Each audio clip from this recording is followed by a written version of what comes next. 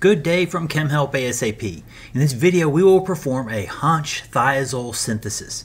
This is one of the very old reactions in organic chemistry. The video description contains links to supporting documents, including the laboratory procedure and proton NMR spectra.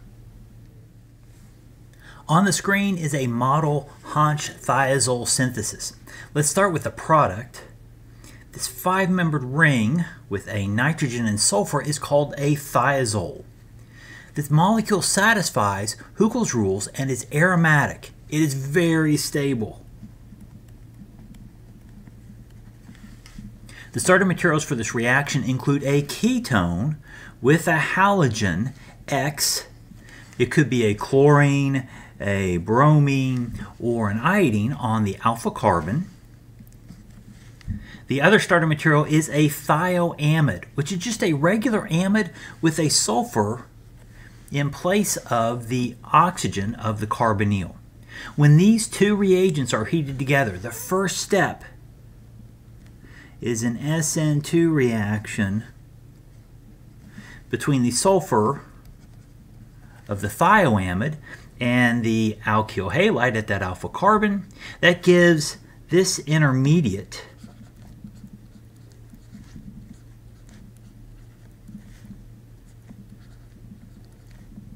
There are different resonance forms that we could draw for this. I've chosen to draw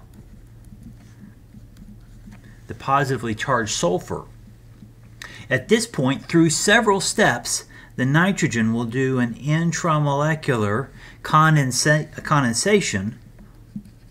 We'll lose water and eventually HBr as well to get the thiazole. The aromaticity of the product is important. These reactions are normally run with some heat. The reaction has the energy to explore its various intermediates and eventually find the stable aromatic product. We can show this on an energy axis in the bottom left.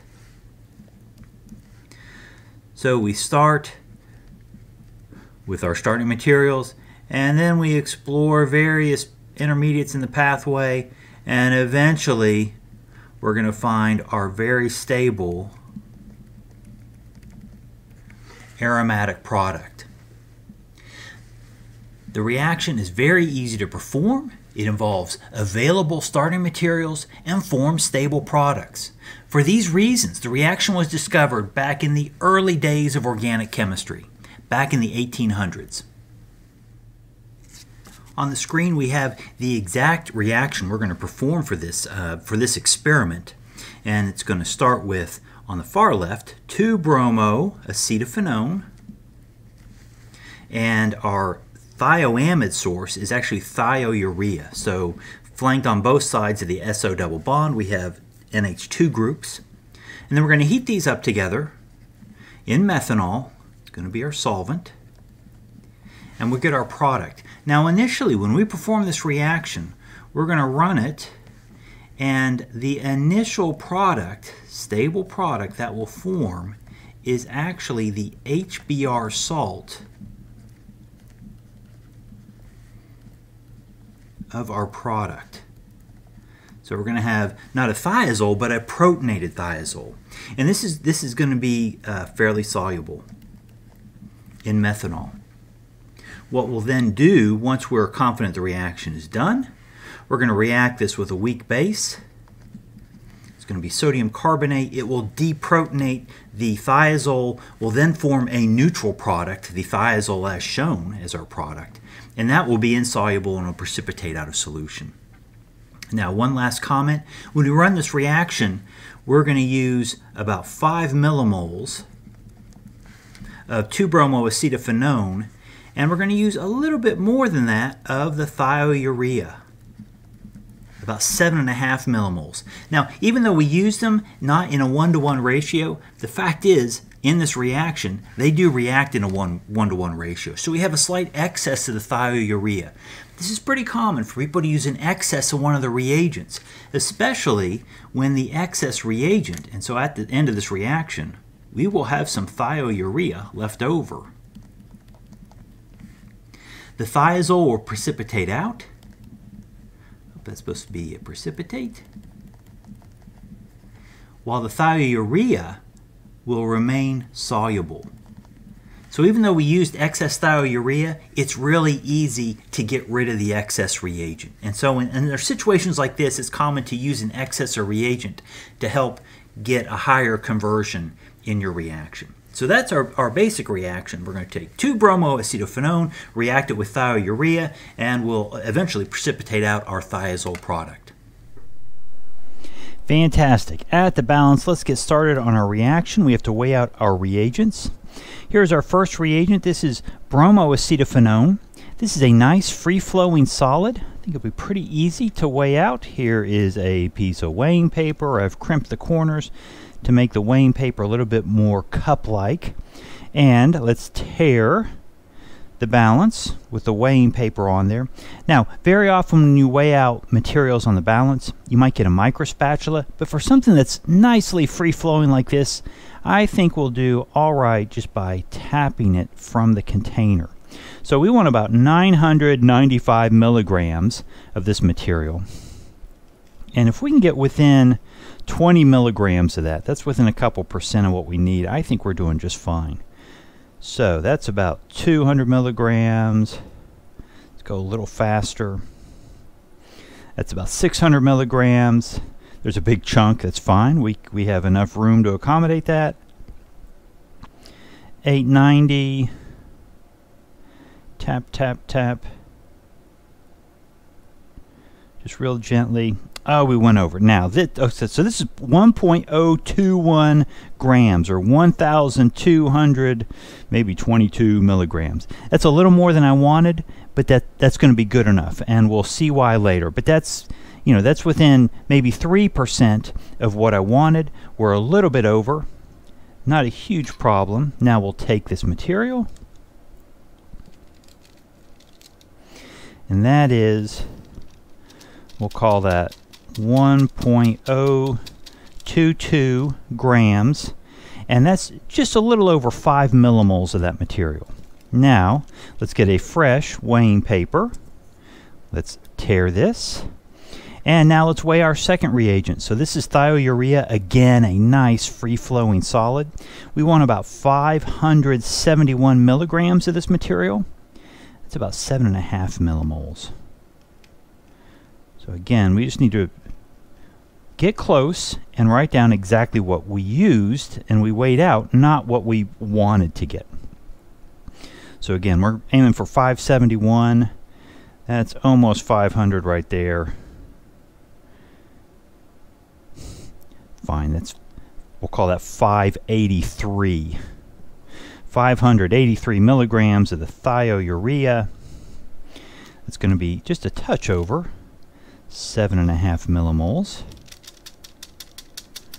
Great. So there are two starting materials mixed together. They're not going to do anything until we add solvent and heat, but we're close to getting started. Those are all the reagents we need for this early part of the reaction. Okay, in the hood, we have a uh, hot plate in front of us. We have an aluminum pan with just a little bit of sand, maybe, I don't know, half an inch tops of sand on a hot plate and we've dialed in about 100 degrees. Not everybody has hot plates that have temperature gauges on them I, I just set this is very low heat. So if you have a hot plate that doesn't have a temperature gauge I'd certainly say a heating level of 1 is certainly going to be adequate for this. So here we have also our nice scintillation vial 20 milliliter scintillation vial with our two reagents mixed in here what we're going to do is we are going to add approximately 5 milliliters of methanol to this. And we'll throw in a stir bar to get everything mixing. And finally, I'm going to put a cap on this. Now, I'm just really going to place this cap. This cap is still loose because we are going to heat this up. And in general, it's very poor practice and unsafe practice to heat glass containers that are sealed or any vessel, vessel that's sealed. So this is just uh, something to minimize airflow across the top and minimize evaporation, but we are not sealed by any means. There's, uh, if we get expansion in anything inside the vessel, then we have a place for uh, pressure to release. So let's get this stirring. You can see this is trying to boil a little bit. I'll just put this right on top of the sand. Our point is not really to boil it, although it's okay if it does, uh, gently. Our point is just we want to heat this gently. It doesn't take a lot of energy for this reaction to go. So we'll just let this stir gently on this warm sand, um, and we'll give this about 30 minutes to react. And then after that time period, we'll come back and we'll move on to the next steps. Well, we are now 30 minutes later, and the reaction looks very much the same. It is still stirring, everything is dissolved, it's been heating for approximately 30 minutes, and um, while it looks like nothing's happened, I'm very hopeful that the reaction is done because 30 minutes is about the reaction time. So we'll go ahead and take this off the heat and let it stand. And while that's standing, we're going to need to add um, or mix this with some sodium carbonate. So I'll get that solution made up, and by that time that's done, this should be cool. And then we'll uh, see if we can precipitate out our product and that our product is formed, and we'll get it out of solution. Well, here is our reaction product, and here is a solution. This is about 20 milliliters of 5% sodium carbonate. So that's about a, about a gram of sodium carbonate solid dissolved in 20 milliliters of water. Now what we're going to do is we're going to mix our solution. This is our product in methanol. And the product at this stage, there's an equivalent of HBr in the reaction. And so that has protonated our product. And so this is actually a salt. It's a hydrobromide salt of our product. So that's going to be very soluble in a polar protic solvent like methanol. When we mix these two, we're going to mix our hydrobromide salt with a little bit of base, the sodium carbonate, and that's going to neutralize our product. So we're going to go from a charged organic molecule to a neutral organic molecule, and hopefully our product will then precipitate out of solution. So one thing is happening, we're neutralizing the molecule. The second thing that's happening is we are pouring this into a more polar solvent. So water is more polar than methanol. And that's also going to be another factor that will help our product precipitate out. So here we go. There's our base solution. And let's dump this in. Try not to obscure the view. And there it goes. Everything's precipitating out. That looks great. Now, we'll take care of the residue in there, but let's swirl this around. That is some nice, thick, solid formation. Let's take this and rinse it with some water. Just to see if we can get every bit of our product out. But this looks really nice. Okay, good. Now we'll give this another swirl. I don't know if you can see that is just thick, thick, thick with precipitated solid. Okay, that looks wonderful. So we're going to let this stand for just a little bit. And the next step is that we're going to isolate our product by a filtration. All right, here we are. We are ready to filter. So we have set up in the hood a sidearm flask, a filter flask, and it has a rubber adapter, and we have a Buchner funnel here is our paper that will go into the Buchner funnel. Now this solution is essentially water. I know there's a little bit of methanol in there, and, but basically it's water. So we'll use water to seat our filter paper, and when it seats we'll want to make sure that all those holes are covered by the filter paper because the filter paper is a little small for this funnel maybe. But we can get everything covered. Looking good, everything's covered. Now before you filter you typically want your vacuum on. And now, down the hatch,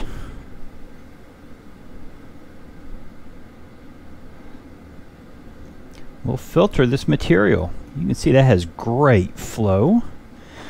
We want to collect as much of this as we can.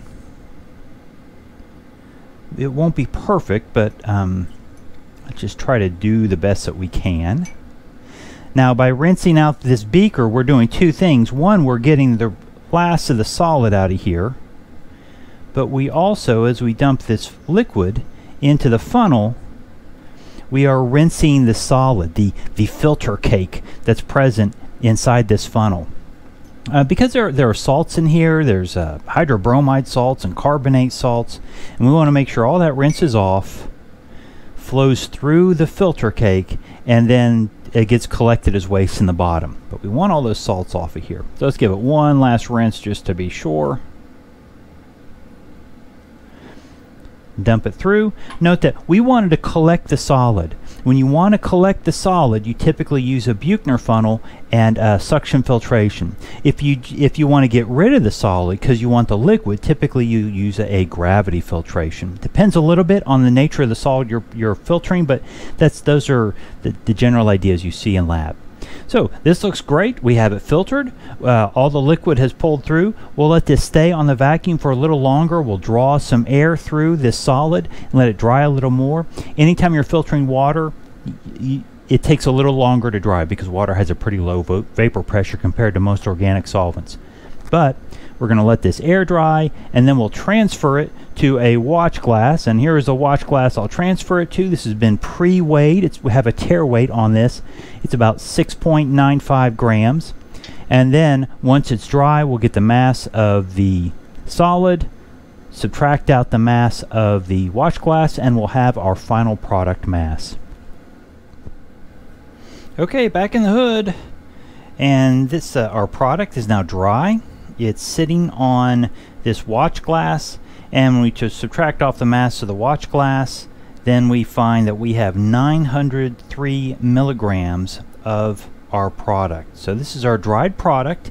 Now wh while this product looks really nice, um, it's nearly colorless, it's a nice well behaved dry solid. Just because it looks good doesn't mean it is good. Formally speaking, this is a crude product. We did not recrystallize it. We, we just forced it to crash out of solution, but we didn't dissolve it and then reprecipitate it. So this is has not been recrystallized. It certainly hasn't been distilled or chromatographed. So this is a crude isolated product. And so while it looks nice, and my sense is it will be a fairly pure material, um, we'll have to let the other data speak to that. For example, the NMR, the melting point, and the TLC. So we'll we'll get some characterization data, but right now this looks good, and 903 milligrams is is I think going to turn out to be a really nice yield. So we'll have to do the calculations and then look at the data and see how everything matches up. So with the reaction complete, let's go ahead and figure it out. Figure out our percent yield. So 2-bromoacetophenone. This has a molecular weight of 199.04.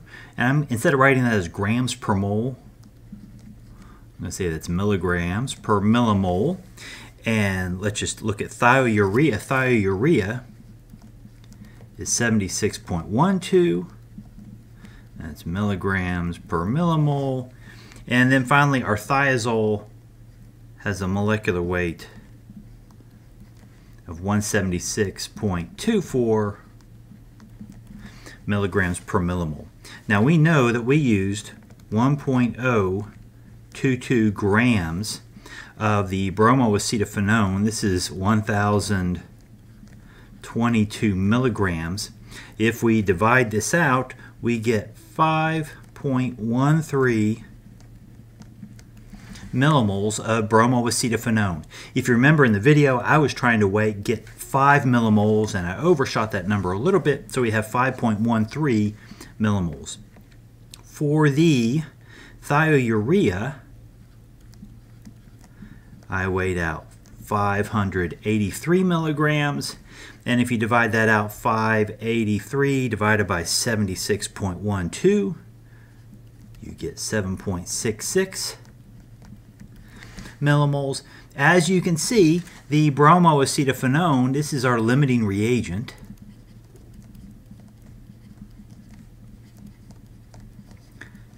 Since these two reagents react in a one-to-one -one ratio, we're going to run out of the bromoacetophenone first.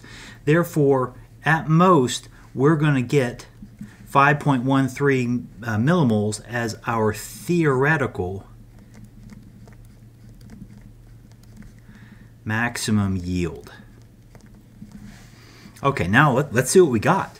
Uh, so we weighed out 903 milligrams of our product And if we divide that out, we find that we got 5.12 millimoles. So this is our actual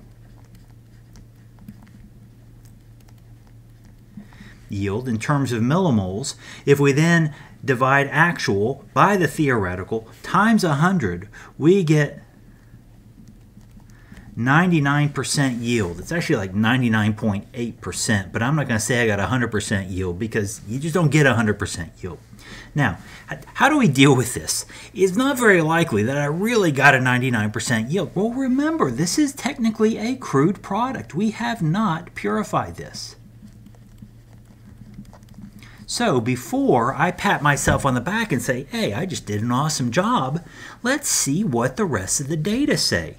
Um, but th this does look pretty promising. And again, not to pat myself on the back, but there's a reason why people discovered this reaction back in the 1800s. It works and it works really well, even with very limited technology. So this yield, this reaction ought to work with a pretty high yield. I wouldn't expect 100%, but you know, it's um, it, it's a very good reaction. So let's now look and see what the data say. Do the data back up this idea that we have a pretty good product. This is our full NMR spectrum. So the full spectrum, it has a ppm, ppm range of all the way greater than 15 ppm down deep into the negatives, I don't know, minus four or so. So this is a full, what they call the full spectral window. And uh, what we see is not surprising. So we have this benzene ring. Those are going to be five hydrogens off the benzene ring. That is technically an aromatic hydrogen because that thiazole ring is aromatic. And this NH2 is a little more exotic than a typical NH2, and it's actually pulled down towards the downfield region as well. So remember, downfield is more on the left. And so really, this is all the action from our compound. Now there are other peaks here. You know, we have these two things, but keep in mind we are in DMSO as our solvent. DMSO D6 is deuterated DMSO. So at approximately uh, a chemical shift of three and a half in DMSO, we have water, or the residual solvent signal for water, and at about two and a half, this is um, we're not 100% protonated uh, or deuterated on DMSO. We have a small amount of DMSO that has at least one hydrogen on it, and we see that residual signal in there. So both of these peaks on the right are from our NMR solvent. They aren't part of our molecule. So let's instead now just zoom in on this aromatic region and see if we can pick out the finer details of our compound we are now zoomed into just, this is the downfield part of our spectrum, and it, it, because this is where we think all of our hydrogens are showing up. So let's go ahead and put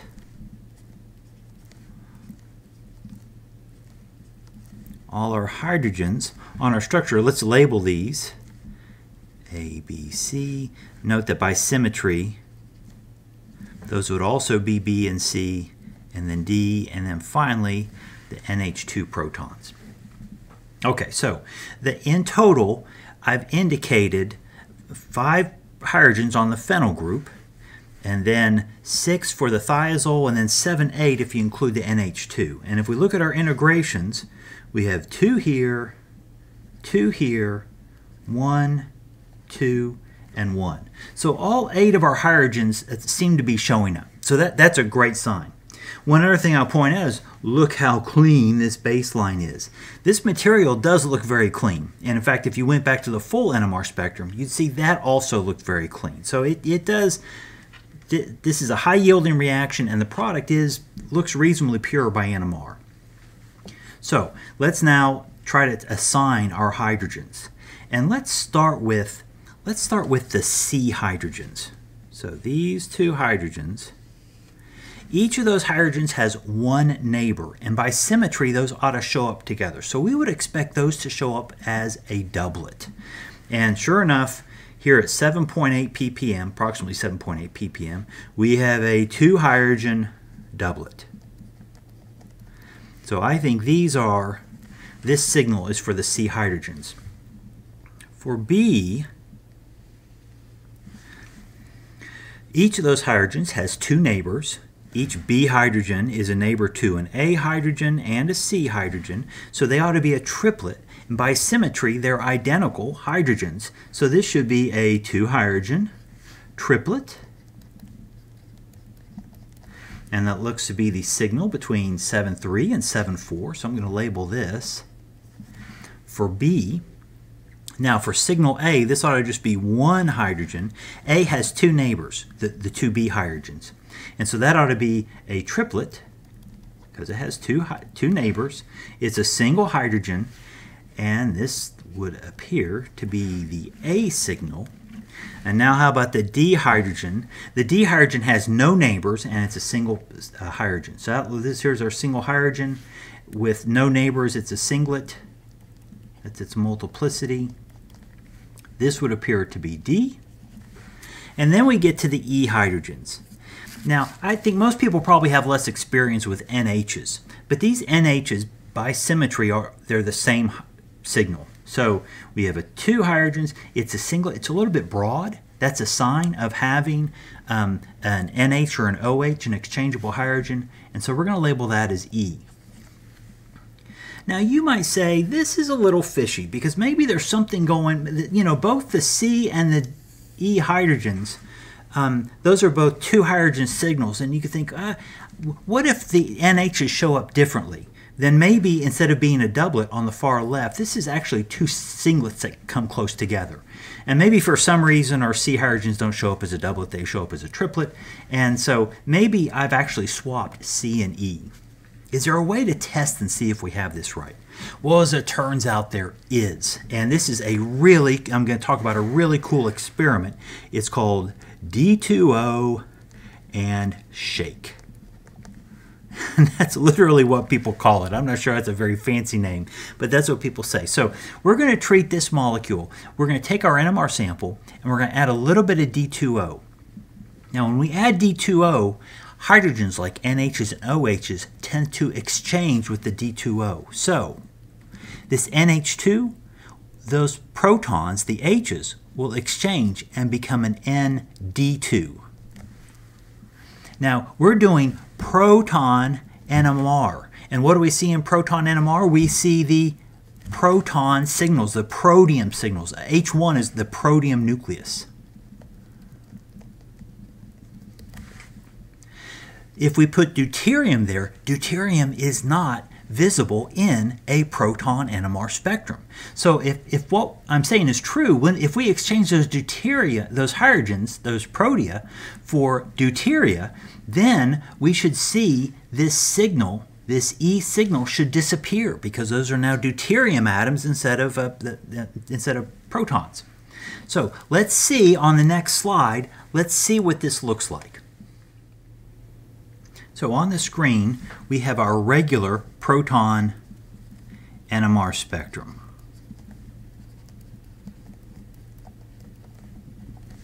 And on the right, we have our D2O and shake experiment. Now, these, spectra aren't identical. The vertical scales aren't identical. But we're not worried about the vertical scales. What we're worried about is which peaks are present. So we have two, two, one, two, one on the left-hand spectrum. That's what we saw on the previous slide. And now we have two, two, one, one this peak is gone. So th that peak, which corresponds to this signal right here on the left, this was what we assigned as our NH2. Now, in our spectrum on the right, this is now an ND2. We exchange those hydrogens for uh, those protium isotopes for deuterium isotopes. And since deuterium doesn't show up in a standard NMR experiment, that signal is now gone. And so that's evidence that we correctly assigned those peaks um, properly. This is this D2O, D2O and shake exercise is really useful because sometimes peaks overlap and you think, I think I have an OH there, but I'm not totally sure. Add a drop of D2O, shake it up, take the NMR again, and if it disappears, that's evidence that it was an OH or an NH. So we really didn't need that help on this spectrum. This is not a complex spectrum by any means, but it is a nice example to see some of these other tricks that people use in NMR. It's not just about count up your hydrogens and make sure everything's there and the chemical shift is reasonable. There are other tricks that help you unravel and identify which hydrogens belong to which signal in these NMR spectra. And this is just one trick. There's a whole ton of them. But uh, as you do more NMR spectros spectroscopy, you will learn additional tricks. So let's consider our TLC and melting point data. On the screen is an image of the TLC plate. Kind of hard to see. That's where the, the spot was introduced to the plate. So that distance, A, equals 2.5 centimeters. The distance from the dot all the way to the solvent front, we'll call that B. And the mobile phase traveled 4.6 centimeters. And our RF value for this is 0.54, keeping in mind that an RF value by itself is worthless. You need to know the identity of the mobile phase and that mobile phase was 50% ethyl acetate, 50% hexane. So this is one spot by TLC, and uh, there's really nothing else you can see. So uh, like the NMR looks clean, the TLC also looks clean. Now let's think about the melting point. Our lit melting point, and this was reported as a melting point, not a melting range, is 151 degrees, and there is our literature reference. When I took the melting point, the experimental melting point, reported as a range, I got 148.6 to 149.6. So a nice tight melting point in reasonably good agreement with the literature value. So this does appear to be a clean product. Now, how do I explain a 99% yield? Because I, I got to admit, you, you just don't get 99% yields. Well, there are other things that impurities that can be in a compound that won't show up in the NMR spectrum and won't show up on a TLC plate. You know, we use uh, sodium carbonate as the base. If we had some salts in our in our product, it, it wouldn't show up by in a proton NMR, and it wouldn't show up by a TLC, in a TLC plate the way we uh, visualized it. So we could have some impurities in here. However, the melting point being fairly tight range indicates if we have impurities, it's not going to be very much. So I, I, would have to say this is a very high yielding reaction. And um, the well, whether it's completely 99%, it I would say it's certainly 95% or so at least. So it's just a, it's a really good reaction. So this is, a, and that's why this reaction goes back over 100 years, um, you know, close to 150 years. So this is this is the Hantzsch thiazole synthesis. It's one of the earliest organic reactions, and it's just it's a great reaction. Uh, very simple to reproduce and get really nice results with this reaction. I hope you enjoyed this video. Please subscribe, like, or leave a comment. If there's another experiment you would like to see, then definitely let me know in the comments section. Handouts for the procedure of this experiment and the NMR spectra are available through links in the description. Thank you for watching. Take care.